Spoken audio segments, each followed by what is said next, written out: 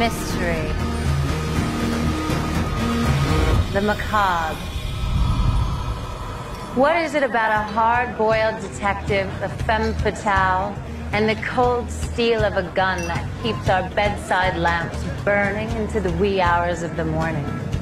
However, the spell is cast, Tonight, we honor a master of the form and celebrate the launch of Stormfall. Call me when you're ready to wash that off.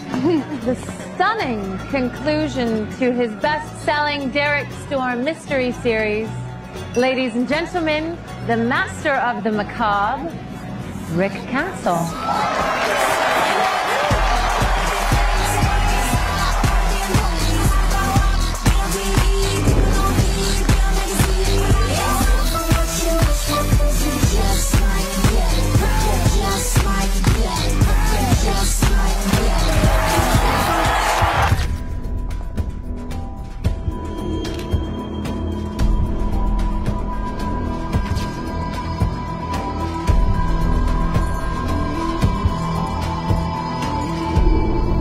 Who are you?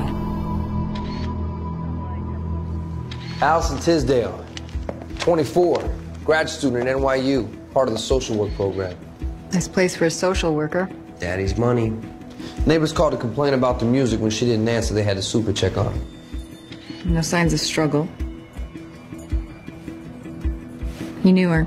Even bought her flowers. Who says romance is dead? I do. Every Saturday night. A little lipstick wouldn't hurt. I'm just saying. So what did you give her besides roses? Two shots to the chest. Small caliber.